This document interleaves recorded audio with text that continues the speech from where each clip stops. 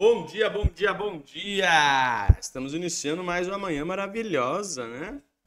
E que bom estar em sua companhia. Eu sou Ari da Bolsa, CEO da TH Trades, mesa proprietária, e estamos iniciando mais um Oração, Café e Trading. Então vamos falar, vamos fazer uma meditação, tomar um cafezinho de boa enquanto isso, né? E ainda falar sobre trading, day trade, swing trade e tudo mais. Bora lá? Ó. Vamos começar com nossa meditação. Mantenha seu equilíbrio. O equilíbrio depende da serenidade da mente. Jamais se aborreça nem se exalte. Não ligue importância às coisas passageiras que lhe vêm de fora. Não se impressione com o que os outros dizem. Siga a conduta ditada por sua consciência e não perca seu equilíbrio. Caminhe para frente, alegre e certo de que há de vencer, por maiores que sejam as dificuldades do caminho. E não, isso aqui é a maior verdade que existe se a gente falar sobre trading, day trade, swing trade. Por quê? Deixa eu pegar uma água aqui. Porque manter o equilíbrio é uma das coisas fundamentais para quem vai operar no mercado financeiro, né? Pensa comigo, pensa comigo.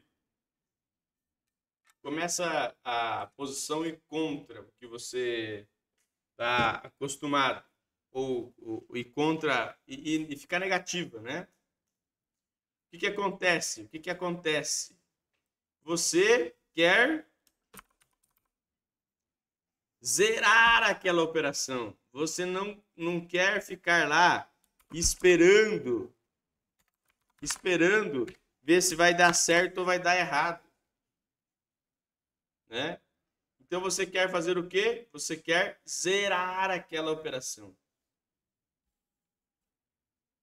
E o equilíbrio ele vai em contra o quê? Você não pode nem ser tão agressivo ao ponto de fazer uma alavancagem louca e excessiva e nem ser tão conservador ao ponto de não ganhar nada.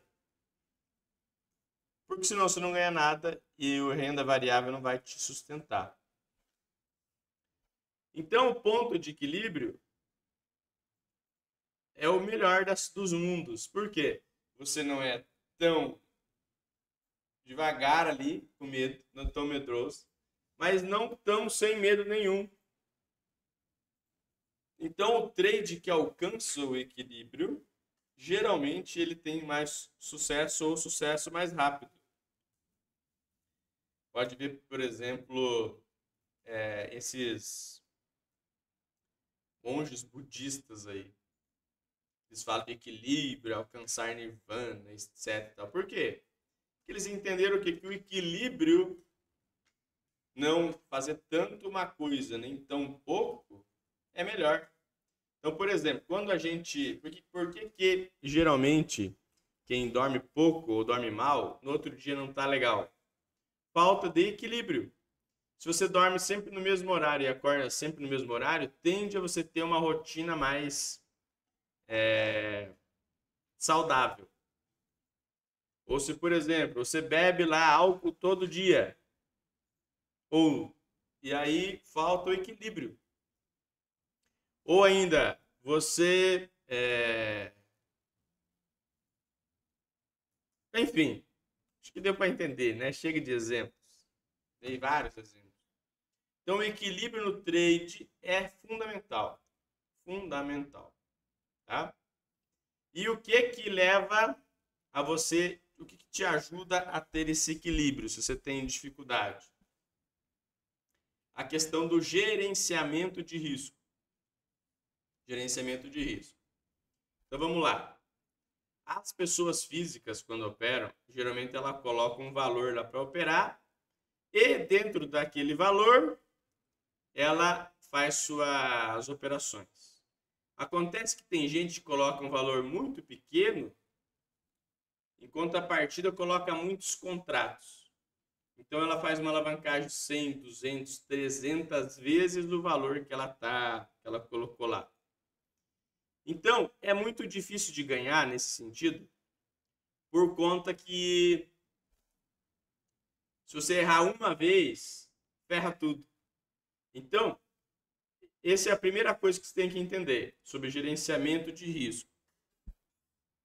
Quando você estiver operando e não puder perder nenhuma vez, ou melhor, não puder errar nenhuma vez, provavelmente, quase certeza que o seu gerenciamento de risco está errado. Entendeu o que eu quis dizer? Não estou falando que é sobre o valor que você vai perder. Você está lá ajustado o quanto você aceita perder ou ganhar. Estou falando de, por exemplo, vamos supor assim, ó, vamos dizer que eu tenho lá 100 mil reais operando. Mas se eu perder uma operação, eu perco 70 mil. Entendeu? Não faz sentido. Por quê? Porque senão eu vou ficar com 30 e aí para recuperar aquele 100 vai ser muito difícil. Vou ter que fazer 300% mais. Então o que que acontece? Tá errada essa operação.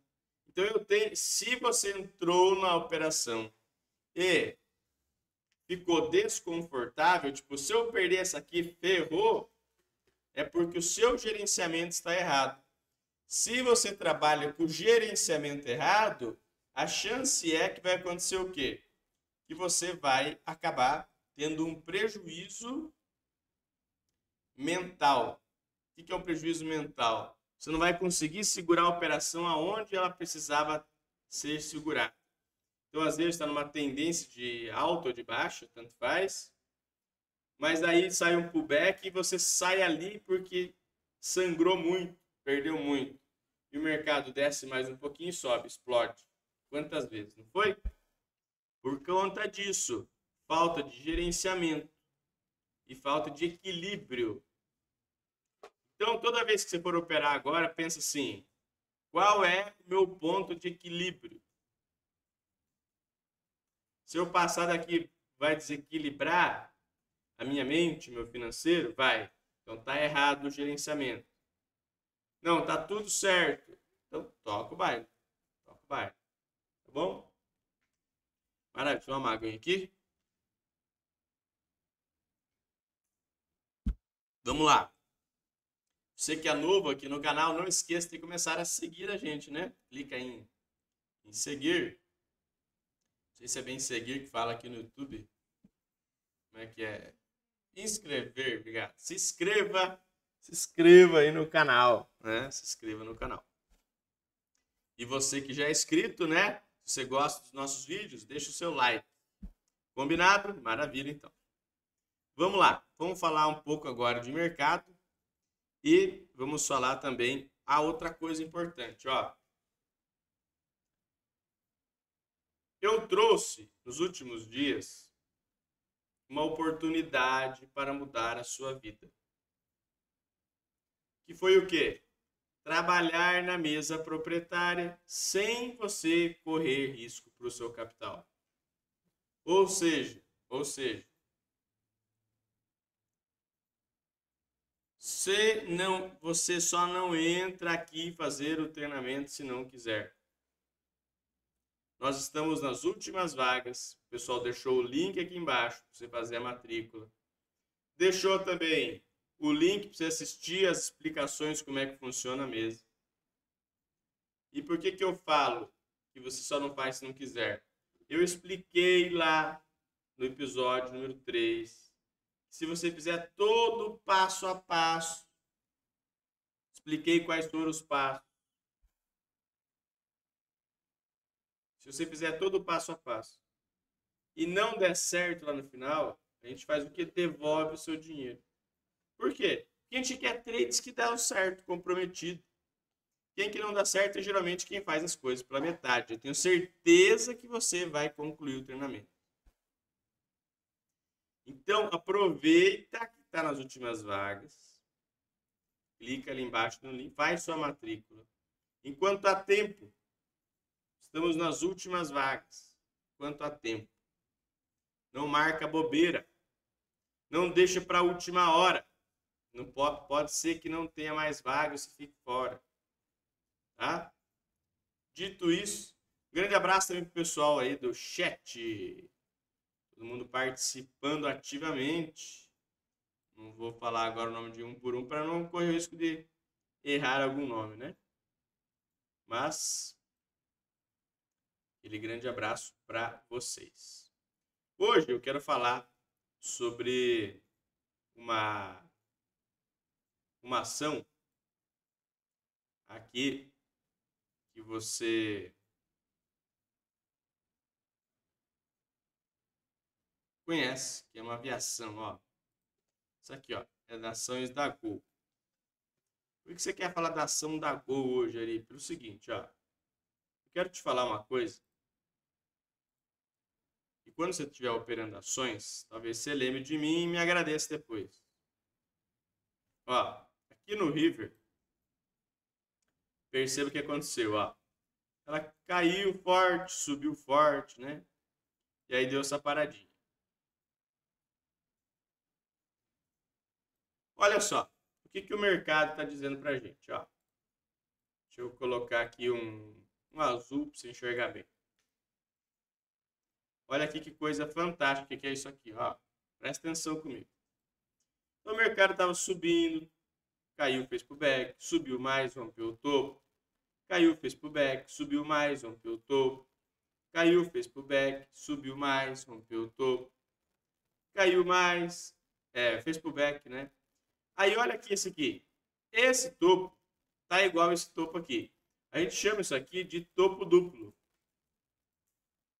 Tá bom? Topo duplo. Ai, Ari, mas eu não tinha visto e tal. Tudo bem, segue o baile e tal. Caiu. Olha aqui. Aqui estava o fundo, ó. Deixar bem espesso aqui, ó. Estava o fundo. Opa. Perceba que essa, além de fizer um topo duplo, essa queda furou o fundo. E daí voltou a subir e não rompeu o topo. Olha lá. Olha lá. Ó, não rompeu o topo. Deixa eu deixar mais forte aqui. E eu não estou falando só do caso da Gol. Eu estou falando da Gol porque é, é, uma das, é, é uma que aconteceu isso. Mas você pode olhar isso aqui no dólar, no índice, em qualquer ação. Ou também no, no, nos futuros, né? Quando fez esta vermelha, que rompeu de novo aqui, esse fundo aqui anterior, quantos sinais de reversão já tinha dado? Ó, um, topo duplo. Dois, furou o fundo. Três, não conseguiu romper o topo. Quatro, é o quarto sinal de venda. O papel estava oito reais, nove reais. Olha o que aconteceu.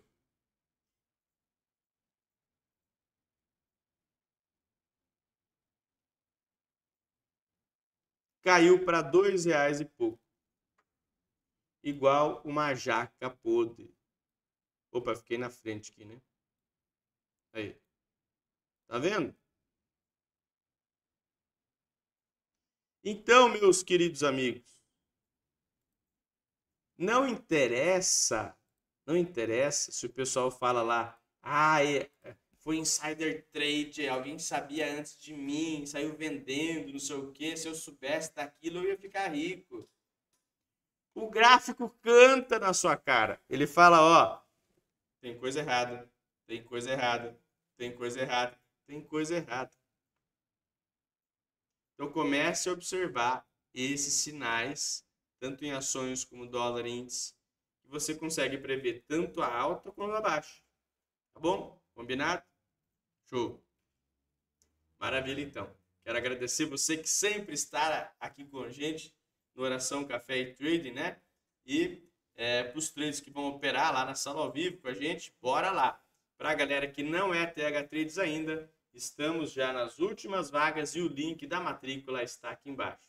Eu sou Ari da Bolsa, senhor do TH Trades. Primeiro a gente faz seu treinamento e depois te contrata.